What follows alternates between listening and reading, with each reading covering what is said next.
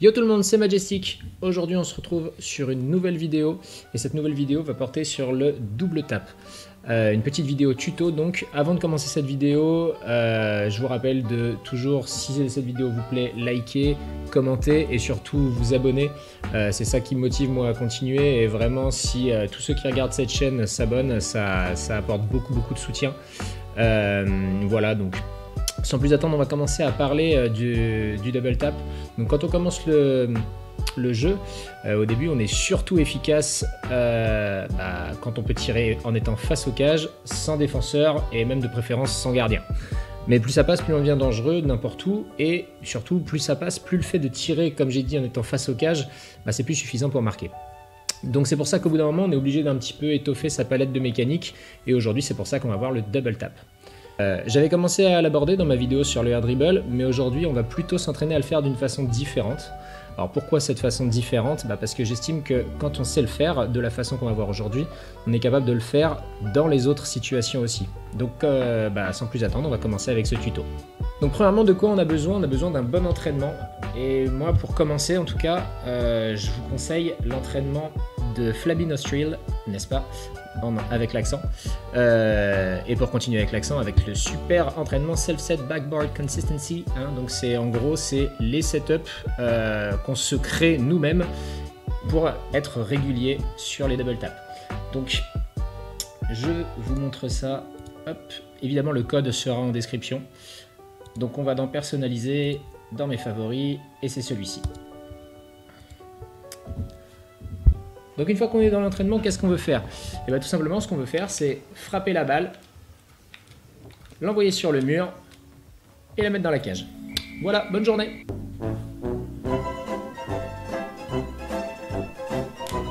Non, plus sérieusement, euh, on a un entraînement où les balles sont pas trop rapides, donc ça nous permet de bien décomposer le mouvement. Premièrement, ce qu'il va falloir savoir faire, c'est fast aerial. Alors qu'est-ce que c'est qu'un fast aerial? C'est tout simplement la manière la plus rapide de gagner de la hauteur euh, dans Rocket League. Donc tout simplement en fait, il va falloir sauter, booster en tiltant sa voiture, en penchant sa voiture euh, euh, pour que le nez aille vers le haut et utiliser son deuxième saut à ce moment-là. C'est la, manière qu'on va avoir de toucher la balle le plus tôt possible dans les airs. vous voyez, c'est vraiment une manière où je peux quasiment aller taper la balle en étant, du ceiling. Je vais vous montrer hein, avec les autres façons, parce qu'en fait il y a trois façons basiques, on va dire, de prendre de la hauteur sur des aériennes. La première c'est un simple jump et un boost et on tourne. Alors ça, ça marche, ça va assez vite, mais déjà ça va pas toujours assez vite, ça va pas aussi vite que ce que j'ai montré, et en plus ça consomme énormément de boost. Parce qu'on est obligé toute la hauteur qu'on gagne, on la gagne grâce au boost. Et du coup, bah, ça, ne permet pas d'être assez rapide, ou quand ça permet de l'être, ça permet pas de finir ses mouvements parce qu'on n'a plus de boost au moment de finir. La deuxième manière, c'est de faire un double jump et ensuite de booster. Là, le problème, c'est qu'en fait, ça va bien sur des balles défensives, par exemple, mais quand on veut attaquer, on n'a pas assez de vitesse. Et du coup, bah, on est obligé encore une fois d'utiliser tout notre boost pour gagner de la vitesse, et là, c'est pas efficace. Par contre, comme je l'ai dit, si on saute, qu'on booste, qu'on penche la voiture et qu'on refait notre deuxième saut après, là, on gagne de la vitesse rapidement et sans utiliser trop de boost. C'est donc ce qui va nous intéresser pour faire cette mécanique aujourd'hui. Et vous verrez que dans le prochain entraînement euh, que je vous montrerai, euh, ce sera obligatoire de savoir faire ça parce que sinon on ne touche même pas la balle parce que la balle arrive trop vite. Donc petite précision, on va ici partir dans une optique de débutant. Donc pour l'instant, on prend le air roll et on le met de côté. On le rajoutera plus tard. Donc pour l'instant, je vais vraiment faire du très simple, c'est-à-dire le fast aerial, on va toucher la balle, et du coup, on va déjà se concentrer sur cette première touch. Et tout d'abord, ce qu'il faut connaître, c'est la hitbox de sa voiture. Donc prenez la voiture que vous utilisez le plus, celle avec laquelle vous êtes plus à l'aise, parce qu'en fait, ce qu'on va chercher à avoir, c'est une touche assez sèche sur la balle pour pas flinguer le momentum de la voiture.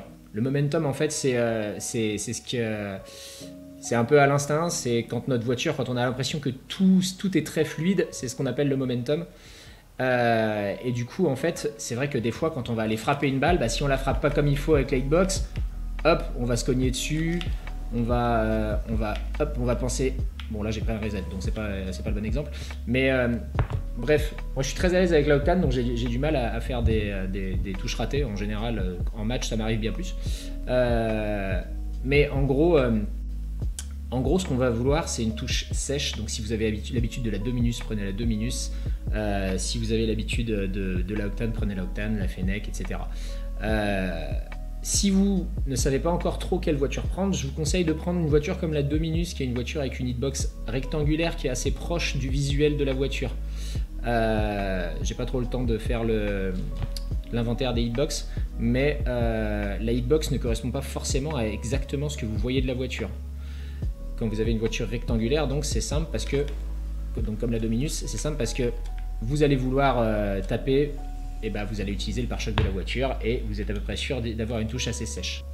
Donc quand on commence à maîtriser notre première touch, qu'on l'a fait un petit peu comme ça, hop, on va booster, on va aller jouer notre première touch, hop, voilà. Quand on commence à la maîtriser, cette première touch, on va pouvoir commencer à penser à la suite.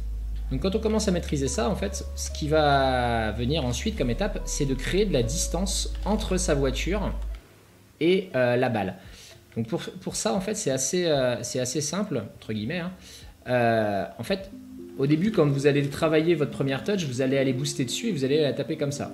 Et vous allez essayer d'obtenir votre touche de balle donc assez sèche, comme je disais. Et en fait, si on veut si on, le problème c'est que si on suit la balle de trop près et donc on continue à booster, on se retrouve très proche de la balle et là c'est très compliqué de s'orienter, euh, que ce soit moi, que ce soit même des pros, euh, des pro players, ça sera tout de suite plus compliqué pour eux s'ils sont proches de la balle et qu'ils la suivent comme ça. Là pour jouer une double tap, il faut avoir un angle hyper serré, c'est super compliqué. C'est pour ça qu'on veut créer cette distance. Et la distance, on va la créer simplement en arrêtant de booster au moment où on fait notre première touch. Ça donne ça. Hop, et là on a de la distance. Bon là je l'ai frappé très sèche donc elle arrive vite. Mais l'idée c'est ça, c'est on la tape, on arrête de booster. Et là on a notre distance qui est créée et donc on peut, vous voyez moi j'ai même presque même pas boosté, on peut simplement euh, se réorienter pour avoir la bonne touche de balle. Mais si on est trop près de la balle, c'est beaucoup plus difficile parce qu'on va être très proche du mur au moment de faire notre deuxième touch et ce sera donc super compliqué euh, de, de faire notre deuxième touch.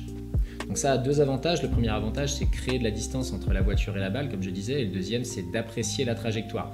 Si euh, vous faites un double tap normal, que vous l'envoyez bien sur le backboard, bah, ce sera d'autant plus simple. Par contre, si vous envoyez la balle un peu haut et que vous l'envoyez par exemple dans l'angle, euh, dans l'angle supérieur de la map, et qu'elle va donc redescendre, ça vous permet d'anticiper ça justement. Et la dernière étape, la dernière touch, il n'y a pas grand chose à dire, il faut marquer. La vraie difficulté dans cette étape, en fait, elle vient du fait qu'elle dépend de la bonne exécution des deux premières étapes. Plus les deux premières étapes auront bien été faites, plus ce sera facile de terminer. Et inversement, évidemment.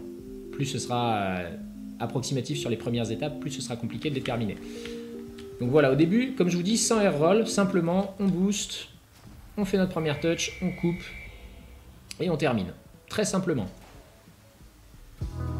On coupe, on attend, on se réoriente si nécessaire et on termine. Et vous voyez là comme c'est assez bien exécuté, et eh ben on se retrouve juste à attendre euh, notre, notre balle, hop, comme ça, et hop. C'est encore une fois, c'est de la répétition, hein, comme toutes les mécaniques de Rocket League. Et plus on va euh, bien exécuter ces, euh, ces premières étapes, plus on va s'entraîner à les faire étape par étape, plus ce sera facile. Encore une petite.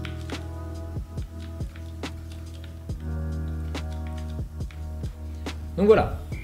Donc quand on maîtrise la mécanique, on va pouvoir commencer à prendre quelques libertés. Par exemple, le air left. Moi, je, sais, enfin, pour ceux, qui, euh, suivent la chaîne depuis un certain temps, euh, euh, j'ai commencé à jouer au air roll left et je commence un petit peu à m'en sortir sur, ces, sur les mécaniques avancées, on va dire.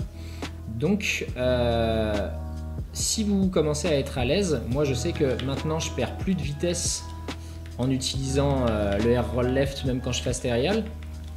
Parce qu'au départ, vous allez peut-être un peu perdre de la vitesse ou euh, faire des choses comme ça. Mais donc le but pour vous, ça va être par exemple, si vous voulez utiliser un peu le air roll left, ça va être de réussir à, fast aerial pour aller vers la balle sans perdre de temps. Parce que si vous allez moins vite que quand vous le faites normalement, ça n'a pas grand intérêt au final d'utiliser le air roll left. Même si ça permet un petit peu de prendre des angles un peu différents. Des fois, si vous avez un angle serré en utilisant le air roll left, c'est peut-être un petit peu plus facile de vous en sortir. Le air roll left ou le air roll classique hein, d'ailleurs. Mais bon voilà, le air roll left permet de prendre des angles un petit peu différents. Il permet de jouer, euh, de jouer des ballons euh, avec un petit peu plus de style aussi, hein, parce que bon, on est dans Rocket League quand même, donc marquer des buts avec style, c'est encore mieux.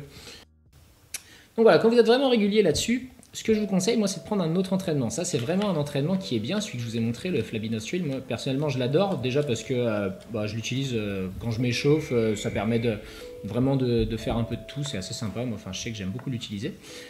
Mais quand on veut vraiment progresser sur la mécanique des double tap en particulier, moi, ce que je vous conseille, c'est d'utiliser un entraînement qui s'appelle le Divo. Il s'appelle Divo, hein, comme, le, comme le professionnel, comme le, le, joueur professionnel. Donc, ce qu'on va faire, c'est qu'on va regarder cet entraînement. Attention, Divo. Voilà, c'est celui-ci. Divo qui est fait par Torso. Euh, vous voyez ici hein, le, nom de la personne qui l'a mis en ligne. Donc Divo, en fait, ça a été choisi. Ils ont choisi ce nom parce que pendant un moment, euh, les, casters de Rocket League appelaient carrément les double tap des Divo tellement il était, euh, régulier sur le move. c'est dire à quel point le, mec est chaud. donc voilà, ce qu'on va regarder, c'est ça. Et donc là, vous allez voir que ce qui change réellement par rapport à l'exercice d'avant, c'est le setup. Parce que là, on avait vraiment des cloches lentes, des ballons cloches lentes. Et là, à l'inverse, on va avoir des ballons cloches qui sont rapides. Et vous voyez que si j'utilise les deux méthodes dont je vous ai parlé avant, ça fonctionne pas. Il n'y a que en faisant un fast aerial que vous allez pouvoir aller toucher la balle. ok? Donc là, moi, je suis moins régulier sur cet entraînement-là que sur le, celui, le précédent. Hein. Euh, mais en même temps, c'est sûr qu'en match, euh, vu, qu'on est vraiment sur des phases qui se rapprochent beaucoup plus de celles de match, bah, si en match on était tous euh, réguliers à 100%, on serait tous au RLCS et on serait tous très riches. Et ce serait sympa. Mais malheureusement, dans la vraie vie, c'est pas exactement comme ça que ça se passe. Donc moi, ce que je vous conseille, c'est de commencer par le premier entraînement que je vous ai montré. Euh, mais une fois que vous commencez à être régulier, je vous conseille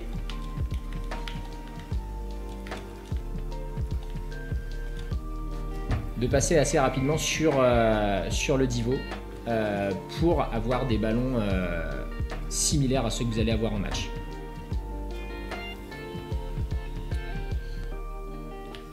Voilà, c'est à peu près tout pour cette vidéo. J'espère qu'elle vous a plu. Euh, si en tout cas c'est le cas, n'hésitez pas, comme je vous l'ai dit en début de vidéo, à lâcher un petit pouce, à, vous abonner et à commenter évidemment la vidéo en me disant c'est bien ce que tu fais ou c'est nul ce que tu fais, euh, change de pays. Bref, je suis ouvert à la critique, euh, je suis aussi ouvert aux suggestions, donc si, si vous avez envie de voir un autre tuto sur autre chose, eh ben n'hésitez pas, moi je demande que ça. Euh, évidemment, si je maîtrise pas la mécanique, bah ça sera plus compliqué, mais pourquoi pas, c'est l'occasion pour moi aussi d'apprendre à faire une nouvelle mécanique, donc je suis jamais contre. Euh, donc voilà, c'était Majestic, je vous souhaite une excellente journée et à la prochaine. Ciao ciao